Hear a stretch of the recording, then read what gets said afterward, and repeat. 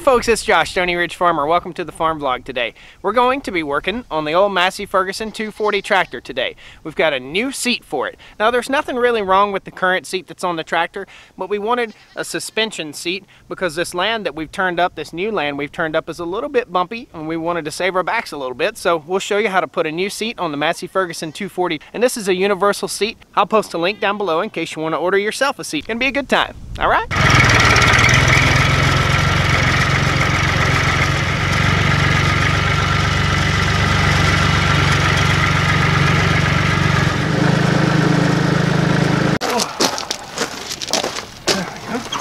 So guys, here's the new seat, and like I said, I'll post a link down below in the video description.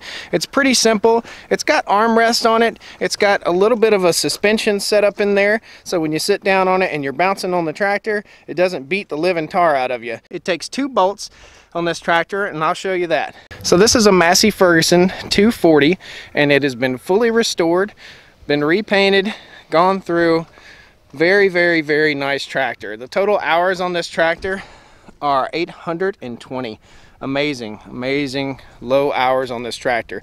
Starts up runs great. I bought it from my neighbor. I really really like the tractor and this is going to be our main bush hogging tractor okay? So the situation with our seat is it has a much more primitive seat setup than the one we're going to replace it with. Basically this cushion just kind of floats in there and this seat setup you know it's it's simple. It's what tractors have used for years and years but it just has two simple bolts right here and what we're going to do is unbolt those two bolts and slap in our new seat. This seat has no suspension. You just see it could just beat the tar out of you, especially if you're running through a bouncy field. Now it's got a nice cushion and everything and we'll save all this stuff in case we decide to sell the tractor down the road and we want to put a new seat on it. But I think this seat's going to be a definite upgrade and I think we'll really enjoy it.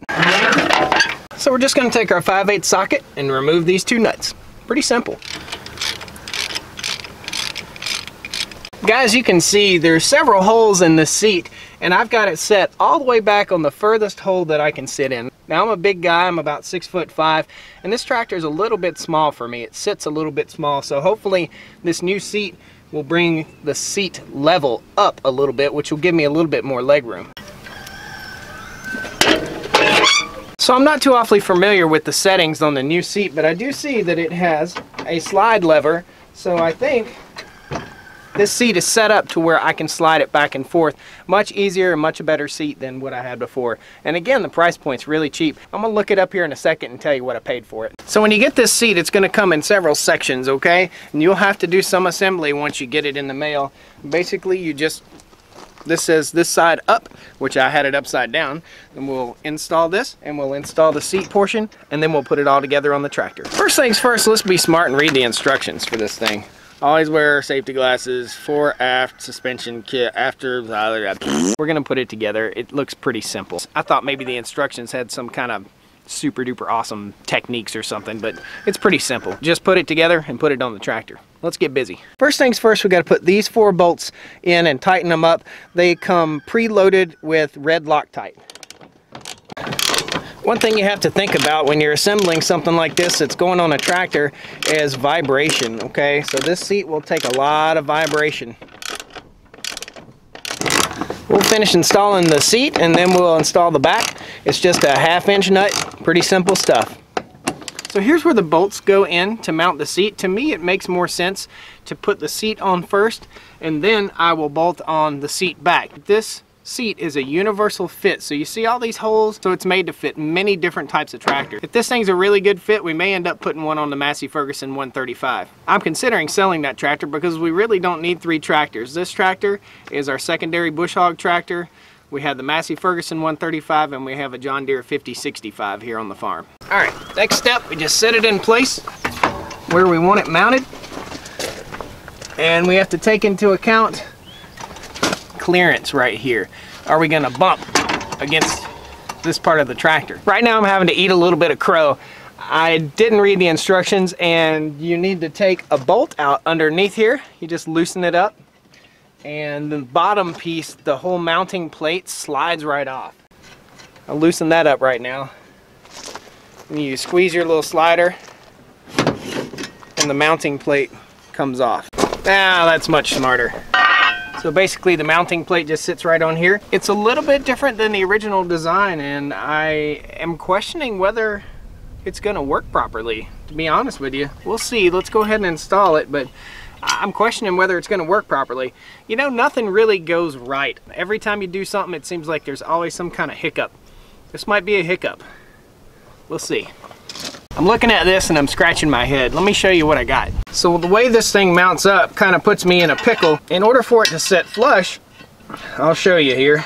In order for it to set flush, it would have to be just like that. So that puts the seat way too far forward and basically puts me right here, uh, the front of the seat, almost against the uh, lever here, the shifter lever. So the only other way I see to do this is to go buy some shims to put in here to raise this thing up about that high and slide it back about right here. Got me scratching my head. I don't want to put shims on here, but I also don't want to sit in that old tractor seat anymore. So my mind tells me to put the seat right in the middle of where it should be, set it on here and see what it looks like, see if it looks like it's going to mount up okay or see if it's going to jam my knees up into the front of the tractor. Probably needs to be up about two more inches. Let's mock it up and see. We'll sit her on the plate. Right there's where she'll sit. It's gonna sit okay, but the bolts don't line up with the holes down here. That looks pretty good. I think we'll try it. Hot dog, it works. Let's tighten these bolts up. You ever just look at something sometimes and it just makes no sense to you? And the more you look at it and the more you figure on it, the more it does make sense. I feel like an idiot. All right, slide the seat on here on its bracket. If it will go. Now the shifter knob is in the way. this seat's making me look like a complete idiot. I've got to go ahead and unbolt it again and bolt it back down after I've slid this slider on here. What a turd. Let's unbolt it. Just a moderate amount of intelligence is required to install this. A moderate amount of intelligence. Evidently more than I possess. Let's remove this shifter knob. Now we're cooking. Alrighty. What a pain in the butt. Leave it to Stoney Ridge Farmer to take an easy job and make it a big pain in the butt. We'll tighten these bolts back down. We should have a new seat. Awesome. Let's put the back on it and then I'll show you the features of the seat. It has some adjustments. It has adjustments for this direction. It has adjustment, a knob right here for your weight, for the amount of cush that it has. And we'll bounce on it here in a minute and test it out. And I've also got to put the back on pretty simple. So this is the bolt that you have to loosen and tighten down in order for the seat to come off the slider portion. Pretty simple. Just tighten that guy down. Now this is a bolt adjustment that you can adjust the angle of your seat, whether you want it up or down or whether it's just right. I feel like I want it to be in this hole right here.